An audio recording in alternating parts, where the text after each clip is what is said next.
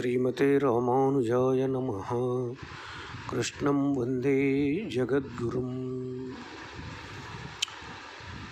నా నుంచి తీసుకునే వాళ్ళందరూ కూడా ఉదారులే సుమా అని చెప్పారు.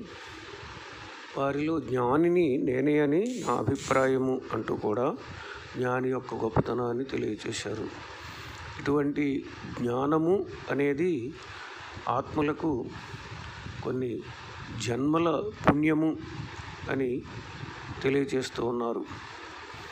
బహూనాం జన్మనామంతే జ్ఞానవాన్ మాం ప్రపద్యతే. వాసుదేవ సర్వమితి సమహాత్మా సుదుర్లభ. ఎన్నో జన్మల యొక్క పుణ్యఫలమయ్యా ఇది. అనేక జన్మ సాహస్ర తపో ధ్యాన సమాధిభి నరాణం క్షీణ కృష్ణే భక్తి ప్రజాయతే. నరాణం క్షీణ పాప్మానం కృష్ణే భక్తి ప్రజాయతే అనేటటువంటి పాఠం కూడా ఒకటి ఉన్నది. ప్రహ్లాదుడు ఈ శ్లోకాన్ని చెప్పాడు. అనేక జన్మలలో చేసుకున్నటువంటి కర్మలు తపస్సులు ధ్యానములు సమాధులు వీటి ఫల అభిసంధి రహితముగా చేసినటువంటి వాని చేత పుణ్యపాపములు క్షీణించి కృష్ణుని ఎందు భక్తి కలుగుతూ ఉన్నది అంటాడు ఆయన. అలా పరమాత్మ ఎందు భక్తి కలగటము అనేటటువంటిది ఎన్నో జన్మలలో చేసినటువంటి తపస్సుల ఫలము సుమా ఇది. వాసుదేవ సర్వం ఇది స మహాత్మా సుదుర్లభ. సర్వము వాసుదేవుడే. అంటే ఈ ప్రపంచమంతా వాసుదేవుడు వాసుదేవమయము అని చూడటం ఒకటే కాదండి. అది సామాన్యమైనటువంటి మాట. కానీ తనకు ఏది జరిగినా సరే వాసుదేవుని వలననే జరుగుతూ ఉన్నది అని భావించినట్లయితే అదిగో అది గొప్పది. అది అఖిల జగన్మాతరం అస్మన్మాతరం అన్నట్లే. లోకమంతటికీ తల్లి సామాన్యము. నాకు తల్లి అనేది విశేషము. అలాగే అఖిల జగత్స్వామిన్ అస్మత్ స్వామిన్ అన్నారు రంగనాథ స్వామిని. రామానుజాచార్యులు వారు శ్రీరంగ గద్యములో. జగత్తులన్నింటికీ స్వామి ఆయన నాకు కూడా స్వామి అంటారు. అలాగే వాసుదేవుడు అంతటా వ్యాపించి ఉన్నవాడు కానీ నాకు సర్వము కూడా వాసుదేవుడే. ఏది జరిగినా వాసుదేవుడే. అందుకే ప్రహ్లాదుడు కూడా అంత భగవన్మయముగానే చూశాడు. అలాగే నమ్మాళ్ళ వారు కూడా ఉండు సోరు పరుకు నీరు తిండు వెత్తులయ్యం ఎల్లాం కన్నన్ అన్నారు. అంతా నాకు కన్నన్. ఆ కృష్ణుడే అటువంటి స్థితిలో ఉన్నటువంటి వారు చాలా దుర్లభము సుమా. అలా ఉండటము అటువంటి వారు. అతడు మహాత్ముడు అంటూ ఉన్నాడు. అంటే గొప్ప ఆత్మ కలవాడు. అతడే గొప్ప ఆత్మ మహాన్ ఆత్మ గొప్ప ఆత్మ కలవాడు.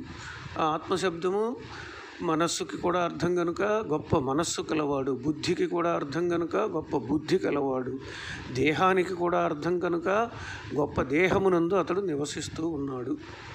ఇలా ఇంతటి గొప్పతనాన్ని పరమాత్మ తాను స్వయంగా తనని మాత్రమే కోరుకునేటటువంటి వానికి ఇలా అతని గొప్పతనాన్ని స్వామి తెలియచేశాడు. మరి ఎంత గొప్పతనం ఉన్నదో ఒక్కసారి మనం కూడా ఆలోచించి ఆర్తులం భారతభక్తులం కావాలా? లేక జిజ్ఞాస భక్తులం కావాలా? అర్ధార్థులం కావాలా? లేదా జ్ఞానభక్తులం కావాలా? మనమే ఆలోచించుకోవాలి. భక్తి అనేది సామాన్యంగా అన్నిటికీ ఒకటే. ఆయన ఎందు ప్రేమే కదా. ఎవరి అందరికీ ప్రేమ ఉంటేనే పరమాత్మని కోరుతూ ఉంటారు. కనుక ఏది కావాలో మనమే తెలుసుకోవాలి. అంతటి గొప్ప స్థానాన్ని ఇచ్చాడు. తస్య జ్ఞానినో దుర్లభత్వమేవ ఉపపాదయతి. అటువంటి జ్ఞాని అలా దొరకటం చాలా కష్టమని చెప్తున్నారు కదా. మరి ఎందువలన అని అంటే ఇంకోటి కూడా చెప్తున్నారు ఇక్కడ. ప్రకృతి ద్వయస్య కార్యకారణ ఉభయావస్థస్య పరమపురుషాయత్వ స్వరూప స్థితి ప్రవృత్తిత్వం పరమపురుషస్య చ సర్వై ప్రకారై సర్వస్మాత్ పరతరత్వం ఉక్తం. అత స ఏ మాత్ర జ్ఞాని ఇది ఉచ్యతే. ప్రకృతి ద్వయము అంటే ఉభయ విభూతి ఉభయ విభూతులు లీలా విభూతి నిత్య విభూతి కూడా వీటి కార్యము కారణము అన్ని రెండు అవస్థలలో కూడా పరమపురుషుడైన నారాయణుని యొక్క అధీనములోనే వీటి యొక్క స్వరూపము కానీ అంటే వాటి ఆత్మలు కానీ వాటి స్థితి కానీ ఆ ఉనికి కానీ ఏ శరీరాన్ని ధరించి ఉన్నప్పటికీ ప్రవృత్తి ఏ పనులు చేస్తూ ఉన్నప్పటికీ అన్నీ కూడా పరమాత్మ యొక్క అధీనములోనే ఇవి ఉంటవి. అని తెలుసుకోవాలి అంటూ ఉన్నారు. అందుకే అతడిని జ్ఞాని అంటారు అంటున్నాడు తెలుసుకున్నవాడే జ్ఞాని. మరి ఇటువంటి వాడు ఎందువలన దుర్లభులు అంటే కామైస్తైస్తైర్హృత జ్ఞానా ప్రపద్యంతే అన్యదేవతా తం తం నియమమాస్థాయ ప్రకృత్య నియతా స్వయా. మరి ఎందుకని ఇలా దుర్లభుడు అని అంటే ఈ కోరికలు అనేటటువంటి కామై ఈ కోరికలు అనేటటువంటివి ఈ జ్ఞానాన్ని తెలియనియకుండా కమ్మేస్తూ ఉంటాయి. ఆ కోరిక కలిగింది అనగానే అది తీర్చుకోవాలి అనిపిస్తూ ఉంటుంది. పరమాత్మని కాక ఇతర దేవతల్ని ఆశ్రయిస్తూ ఉంటాడు. అది భూమి కావచ్చు నీరు కావచ్చు లేదా లేదు ఇంకా శాస్త్రములలో ఇలా గీతలో కూడా చెప్పాడు ఆయన. ఇతర దేవతల విశ్వరూప సందర్శన యోగంలో విభూతి యోగంలో చెబుతూ ఉంటాడు. అటువంటి వారిని అందరినీ కూడా ఆశ్రయించి త్వరగా ఫలాన్ని పొందాలి అని చేస్తూ ఉంటారు సుమా సామాన్యులు. అందుకని పరమాత్మని ఆశ్రయించటము చాలా దుర్లభము అని చెప్పాడు.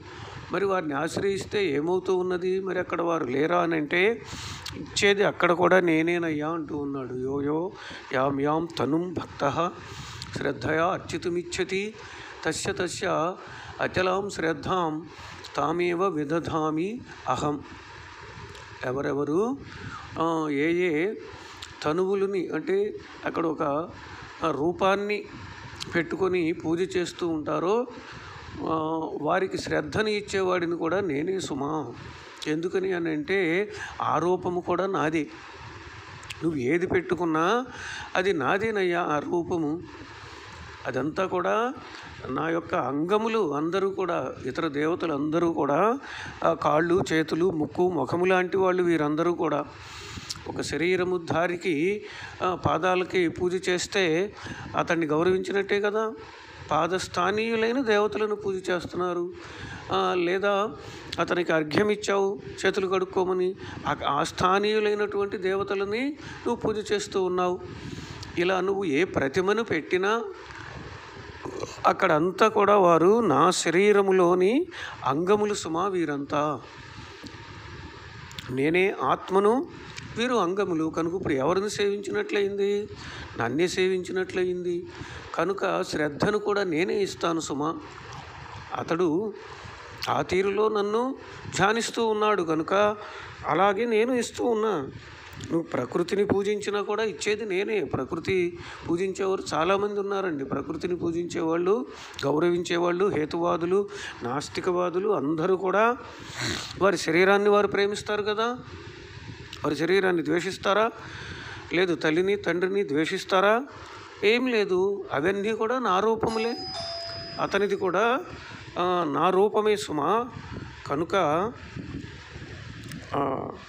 నేనే ఇలా ఆయా రూపములలో పూజింపబడుతూ ఉంటాను. అతనికి శ్రద్ధను కూడా నేనే ఇస్తూ ఉంటాను.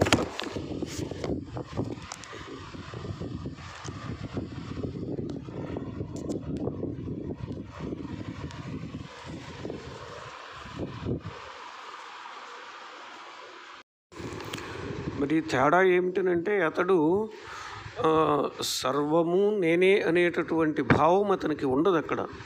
ఆ క్షణంలో ఏదో కోరుకుంటాడు అది తీసుకుంటాడు వెళ్ళిపోతూ ఉంటాడు. సతయా శ్రద్ధయా యుక్త తస్యారాధనమీహతే లభతే చ తత కామాన్ మయైవ విహితాన్ హి తాన్.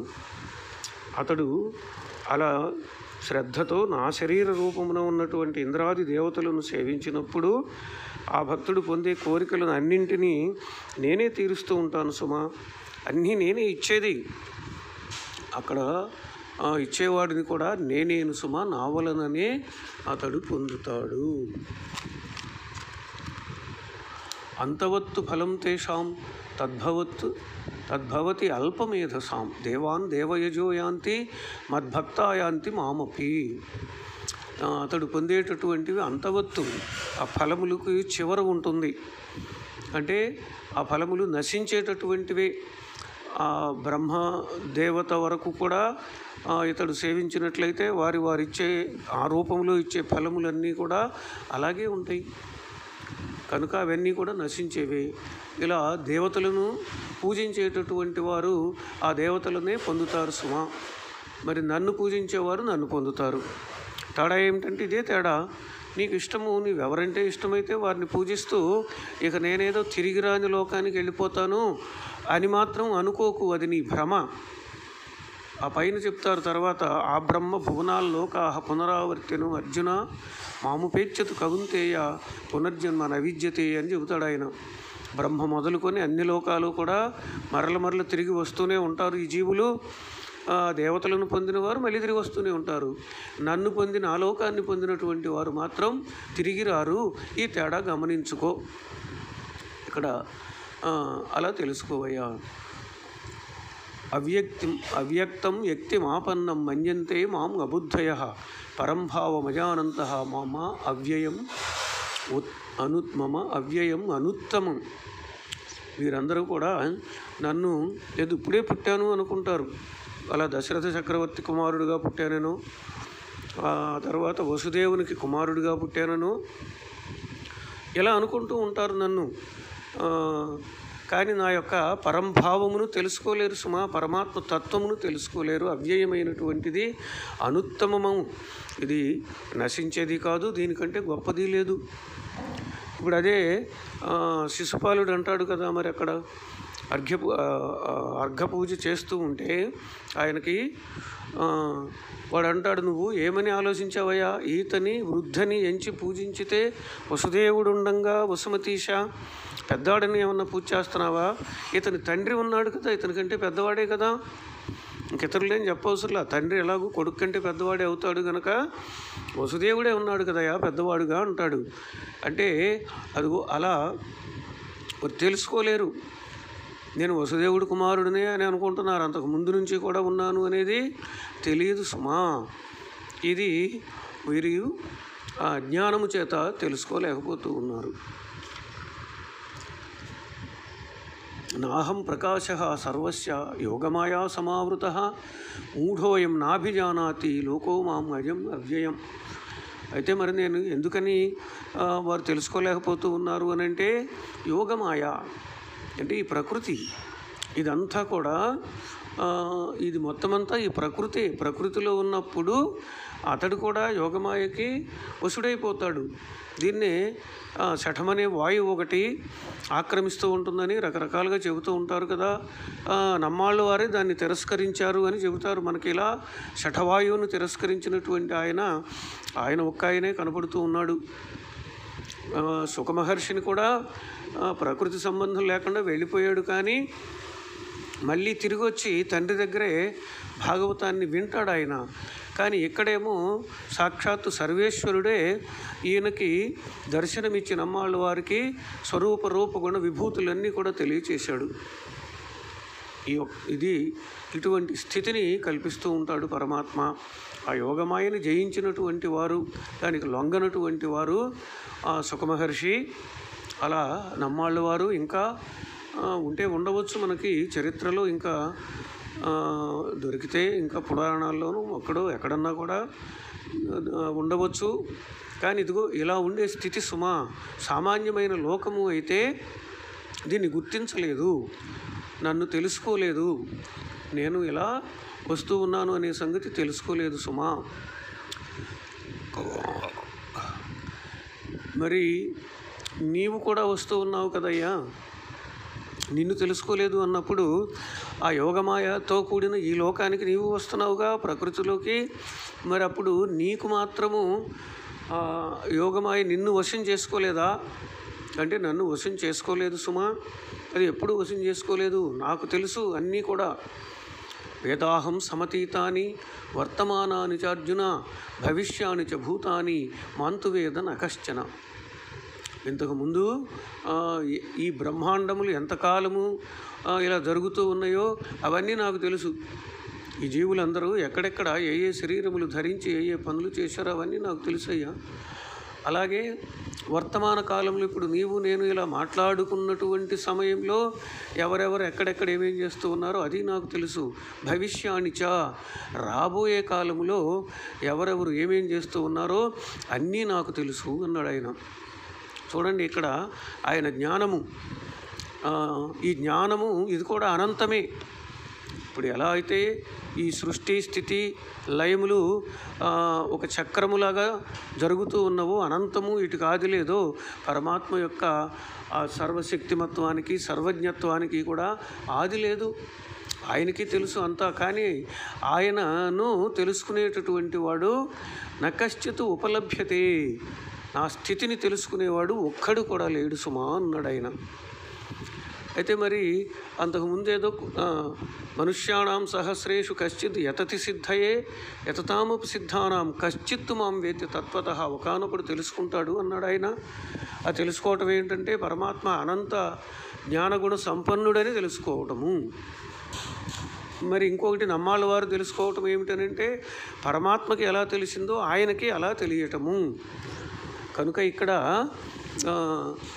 ఇలా తెలుసుకునేటటువంటి వారు పరమాత్మే ఉన్నాడు కనుక నాకే తెలుసు అంటున్నాడు కదా. మరి నమ్మాళ్ళు వారు కూడా పరమాత్మతో సమానమైనప్పుడు ఇంకా వేరేమీ లేదు కదా. అప్పుడు ఆయన ఈయన ఒకటే. ఆయన ఇచ్చిన జ్ఞానము నాకు అలా ఇచ్చాడు అంటూ ఉన్నాడు ఆయన. ఇది ఒక ఒక అతిశయముగా తెలుసుకోవాలి. నమ్మాళ్ళ వారి యొక్క అతిశయం ఇది ఇచ్ఛాద్వేష సముత్థేన ద్వంద్వమోహేన భారత సర్వభూతాన్ని సమ్మోహం సర్గే యాంతి పరంతప. మరి ఎలా జరుగుతూ ఉన్నదంటే ఈ ద్వేషము ఇష్టము ద్వంద్వము ఇవన్నీ కూడా సర్గకాలమునందంటే సృష్టి కాలములోనే ఈ కర్మ ఇతడిని ఆశ్రయిస్తూ ఉన్నది కనుక ఇతడు మోహమును పొందుతూ ఉన్నాడయ్యా. ఏషాంతు అంతగతం పాపం జనానాం పుణ్యకర్మణాం తే ద్వంద్వమోహ నిర్ముక్తా భజంతే మాం దృఢవ్రతా ఇక ఈ యొక్క కర్మ ఉన్నదే ఇది అనాదే కానీ ఇది అంతమయ్యేదే శాంతము అంటే నశించిపోతుంది. దీన్ని ఇది అనాదే కానీ ఇది నశించిపోతుంది సుమా. అంటే ఎలాగో ఎలాగూ అంటే మాం భజంతే దృఢవ్రత. నన్ను భజించినట్లయితే వాళ్ళు ఈ ద్వంద్వమోహముల నుండి నిర్ముక్తులు అవుతారు సుమా. అంటే పరమాత్మని ఆశ్రయించినట్లయితే ప్రకృతి విముక్త ఆత్మదర్శనము కొరకు పరమాత్మనే ఆశ్రయించాలి అని చెబుతూ ఉన్నారు ఆయన. అంటే మోక్షము కలగాలి అని అంటే జరామరణ మోక్షాయ మాం ఆశ్రిత్య యతంతియే తే బ్రహ్మ తద్విదు కృత్స్నం అధ్యాత్మం కర్మచ అఖిలం. ఇక జర ముసలితనము మరణము ఇవి రాకుండా ఉండాలి అని అంటే వీటి రాహిత్యం ఇవి లేకుండా ఉండాలి అని అంటే మాం ఆశ్రిత్య నన్నే ఆశ్రయించి ప్రయత్నించండి. ఇవి రాకుండా ఉండటం అంటే అర్థం ఏమిటి? మళ్ళీ జన్మించకుండా ఉండటమే. జన్మించాడంటే అన్నీ వస్తాయి. బాల్యము యవ్వనము కౌమారము మరణము ఇలా అన్నీ వస్తాయి కదా. జన్మ లేకుండా ఉన్నప్పుడే ఇతడికి ఇవి రావు. అది లేకుండా ఉండాలి అని అంటే నన్నే ఆశ్రయించాలయ్యా. నన్ను ఆశ్రయించినట్లయితే అవి లేకుండా పోతాయి సుమా. ఇక నన్ను ఆశ్రయించి నేను గొప్పవాడిని నేను తెలుసుకోవాలి అని అంటే ఈ తెలుసుకోవటానికి కొన్ని విషయాలు తెలుసుకోవాలి అంటూ ఉన్నాడు ఆయన ఏమేమిటనంటే ఆ, తే బ్రహ్మ తద్విదు కృత్స్నం అధ్యాత్మం కర్మచ అఖిలం సాధిభూత అధిదైవం మాం సాధియజ్ఞంచ ఏ విదు ప్రయాణకాలేపి చ మాం తే విదు యుక్తచేతస ఇది శ్రీమద్భగవద్గీతాసు ఉపనిషత్సు బ్రహ్మ విద్యాయాం యోగశాస్త్రే శ్రీకృష్ణార్జున సంవాదే జ్ఞాన విజ్ఞానయోగో నామ సప్తమో అధ్యాయ. తెలుసుకోవాల్సినవి ఇవి అని చెప్పాడు. ఏమిటనంటే దాదాపు ఒక ఏడు అనుకుంటా ఇవి. బ్రహ్మ అంటే బ్రహ్మ అంటే తద్బ్రహ్మ అంటే ఏంటో తెలుసుకోవాలి సుమ. అలాగే అధ్యాత్మం అంటే ఏంటో తెలుసుకోవాలి. కర్మ అంటే ఏంటో తెలుసుకోవాలి. ఇక్కడికి మూడు వచ్చినాయి అలాగే సాధిభూతం అంటే ఏంటో తెలుసుకోవాలి. అంటే అధిభూతం అంటే ఏమిటి? అధిదైవం అంటే ఏమిటో తెలుసుకోవాలి. అధి యజ్ఞము అంటే ఏంటో తెలుసుకోవాలి. ఇక్కడికి ఆరు. ఇక ప్రయాణకాలేపి ఈ శరీరము నుండి ఈ ఆత్మ పైకి లేచి వెళ్ళిపోయేటప్పుడు అప్పుడు నన్ను ఎలా తెలుసుకోవాలి? ఏ నన్ను ఎలా ధ్యానం చేయాలి? ఇలా తెలుసుకోవాలి సుమా ఇది ఏడు. ఇది తెలుసుకున్నట్లయితే వారు తెలుసుకోవలసిన దానిని తెలుసుకున్నవారు అవుతారు సుమా సంపూర్ణముగా తెలుసుకున్నవారు అవుతారు అని చెప్పి ఒక ఏడు విషయాలను తెలియచేశారు ఈయన. ఇవి ఇక ప్రయాణకాలేపి స్వప్రాప్య అనుగుణం మా ఎదురితి ఉక్తం భవతి. అది తనని పొందాలి పరమాత్మని పొందాలి అని అంటే ఎలా ఆ, పరమాత్మ ఉంటాడు అనేది ఎలా ఆత్మ శరీరమును విడిచి వెళ్ళిపోయేటప్పుడు ఎలా ఉంటుందో ఆ పరమాత్మని ఎలా ధ్యానం చేయాలో తెలుసుకోవాలి సుమా అంటాడు. మరి చాలామందికి ఆత్మ వెళ్ళిపోయే సమయములలో చాలామంది ఆ పరమాత్మని దర్శించే మోక్షానికి పొందినట్లు మనము తెలుసుకుంటూనే ఉన్నాం కదా. భగవత్పాదులు శంకరాచార్యుల వారు ఆయన తల్లిని ఒప్పించి వెళ్ళిపోతాను అని అంటే సన్యాసాశ్రమానికి మొదట్లో ఒప్పుకోలేదు. ఆమె ఆ తర్వాత ఏదో ఆయన నర్మదా నదిలో స్నానం చేస్తూ ఉంటే మొసలి పట్టుకున్నది. అమ్మా మరి నేను ఎలాగో చనిపోతూ ఉన్నాను నాకు అనుజ్ఞేయమంటే అలాగే నాయన అన్నది ఆ తల్లి ఆతుర సన్యాసం అంటారు. అప్పుడే మయా సన్యస్తమిదం అన్నాడు ఆయన. మొత్తం సన్యసించాడు. ఆ తర్వాత ఆ మొసలి పోయింది. అదృష్టంతో బయటకు వస్తే నాయన మరి వెళ్ళిపోతావా? సరే వెళ్ళు ఎలాగూ వెళ్ళమని చెప్పాను కదా. సన్యాసం తీసుకోమని మాట ఇచ్చాను తండ్రి. కానీ నా అంతకాలమునందు మరణకాలమునందైనా రావయ్యా. అని అంటే అలాగేనమ్మా అని చెప్పాడు. వచ్చాడు ఆయన? వచ్చి అమ్మా నువ్వు ఏ లోకాలకు వెళ్ళాలనుకుంటూ ఉన్నావు? అంటే ఏ లోకాలు ఎలా ఉంటాయో మరి నాకేం తెలుసయ్యా? అంటే శివలోకానికి పోతావా అని చెప్పి ఆ శివ భటులను చూపించారు వారిని చూసి ఆమె భయపడింది అట. ఆ తర్వాత విష్ణుదూతలను చూపిస్తే వారిని చూసి చాలా బాగుంది నాయన నేను ఇలా వెళ్ళిపోతాను ఆ లోకానికి వెళ్ళిపోతాను అని హాయిగా విష్ణు లోకానికి వెళ్ళింది అని చెప్పి ఆ విద్యారణ్యులు రాసినటువంటి శంకర విజయంలోనే మనకి కనిపిస్తూ ఉంటుంది. ఈ శ్లోకాలు నేను చెప్పాను కదా మరి వక్ర మార్గంలో బోధ చేసేవాళ్ళు ఇవి చెప్పరు. అడుగడుగున శంకర భగవత్పాదుల వారు ఏమన్నారంటే అంటూ ఇక శివానంద లహరి సౌందర్య లహరి ఈ విధంగా వడగోస్తూ ఉంటారు తప్ప ఇలా చెప్పారండి అని పొరపాటును కూడా చెప్పరు. శివకేశవులను తేడా చూడమని ఎవరు చెప్పటం లేదు శివకేశవులే కాదండి ప్రపంచం మొత్తం ఎందుకు అన్నింటిలోనూ నేనే ఉన్నాను అన్నప్పుడు ఏమి ఆ ఇద్దరినేనా? బ్రహ్మదేవుడు ఏమన్నా పాపం చేశాడా? త్రిమూర్తులు ముగ్గురు ఒకటి కదా? లేదు మనమందరమీ కూడా అహం బ్రహ్మాస్మి అనుకోవటం లేదా? కానీ మరి ఇది ఏమిటో అలా పట్టుకున్నది? కలికాలం ఏమిటో తెలియదు. కానీ ఆ తల్లికి విష్ణులోకాన్ని పంపించాడు ఆయన అలాగే నారాయణ స్మరణే చేశాడు ఆయన భజ గోవిందుడిని గోవిందుడిని భజించు అని చెప్పాడు ఆయన. ఇలా మరికొంతమంది మరి ఏంటో ఈ కాలమహిమో ఏంటో ఇక్కడ గోవిందుడు అంటేనట ఆయన గురువు గారు గో ఆ గోవింద భగవత్పాదులు అంట ఆయన్ని గురువుని సేవించమన్నాడట అని చెబుతారు కొందరు. మరి ఏమిటి అసలు ఈ కలికాలం కాకపోతే ఈ ఆలోచనలు? మరి జై శ్రీమన్నారాయణ అంటే చిన్నజీయర్ స్వామి వారికి జై కొట్టినట కొట్టేటట కొట్టినట్లు అని అంట కొందరు కల్పించి ఈ రకంగా చేస్తూ ఉన్నారే? నారాయణుడికి కాదా జై అంటాం. మరి వీరి అజ్ఞానాన్ని ఏమనాలి? అలా ఆ తల్లికి పంపించాడు మోక్షాన్ని. మరి అదేమి విచిత్రమో? ఆ భగవద్ రామానుజుల వారు కూడా వారి తండ్రి గారు అన్నారు నాయనా నాకు ఆ విష్ణులోకం కనిపిస్తూ ఉన్నదయ్యా వెళ్ళిపోతూ ఉన్నాను అన్నారు. మరి ఈయన అవతరించి అప్పటికీ పదహారు సంవత్సరాలు ఏమో అయింది అనుకుంటాను వారు పరమపదించే సమయానికి నాకు శాశ్వత విష్ణులోకం నా పెద్దలందరూ కూడా తరించిపోతారు సుమా. ఇరవై ఒక్క తరాలు మేము వెళ్ళిపోతాం. మరి రామానుజుల వారు ఆయన అలా ఉండి ఆయనేమి ప్రత్యేకించి చూపలేదు. అలా ఉండగానే తండ్రికి కనిపించింది. మరి ఇది ఒక అద్భుతం కదా. అలాగే ఒకే నక్షత్రమునందు అవతరించారు ఇద్దరు కూడా ఆరుద్ర నక్షత్రము. మరి మహానుభావులు వారందరూ సామాన్యులేం కాదు ఎవ్వరూ తక్కువ కాదు. వారి వారి భావాలను వారి వారు తెలియచేశారు వారి దర్శనములు. ఆ ఒక్క దర్శనము అన్న చోట మాత్రమే నిర్విశేష చిన్మాత్రం అంటారు శంకరాచార్యుల వారు. కాదు సవిశేష బ్రహ్మము అంటారు రామానుజుల వారు. మిగిలినవి అన్నీ సమానమే. ఆయన కూడా నారాయణుడినే సేవించమని చెప్పాడు. ఎన్నోసార్లు చెప్పుకోని అవసరం లేదు. పైగా ఇతర దేవతలను సేవించవద్దని నిషేధించాడు ఆయన గీతా భాష్యంలో. మరి ఇలా కపటము కుయుక్తులతో చెబుతూ ఉన్నారు అందరూ. పడలాగేసి శంకర అద్వైతాన్ని తీసుకుపోయి శైవానికి శాక్తేయానికి అంటగట్టేసి చెబుతున్నారు. ఆయన ఎక్కడ చెప్పలేదండి. శైవాన్ని చెప్పలేదు శాక్తేయాన్ని చెప్పలేదు. మరికొంతమంది వైదిక ధర్మాన్ని ఉద్ధరించారంటూ ఈ పూర్వ వేదాంత భాగాన్ని అసలు ఆయన అవసరం లేదని తోసేశాడు మనకు అవసరం లేదండి అన్నాడు. ఆయనే కాదు శ్రీకృష్ణ స్వామి కూడా వాటిని పక్కన పెట్టేశాడు త్రైగుణ్య విషయ వేదాహ. ఈ వేదములు త్రిగుణములకు సంబంధించిన విషయములయ్యా వేదాంతమును ఆశ్రయించమన్నాడు ఆయన కనుక వేదాంతమే ప్రధానం కూడా. ఇవన్నింటినీ కూడా ఏదో తోసేయటం కాదు. సక్రమమైన రీతిలో అర్థం చేసుకోండి. తిరస్కరించటాలు కాదు వాటిని తక్కువ చేయటాలు కాదు. ఎంత అవసరమో అంత కావాలి తప్ప వాటిని అవసరమైనంత వరకే నీవు వాడుకోవాలి.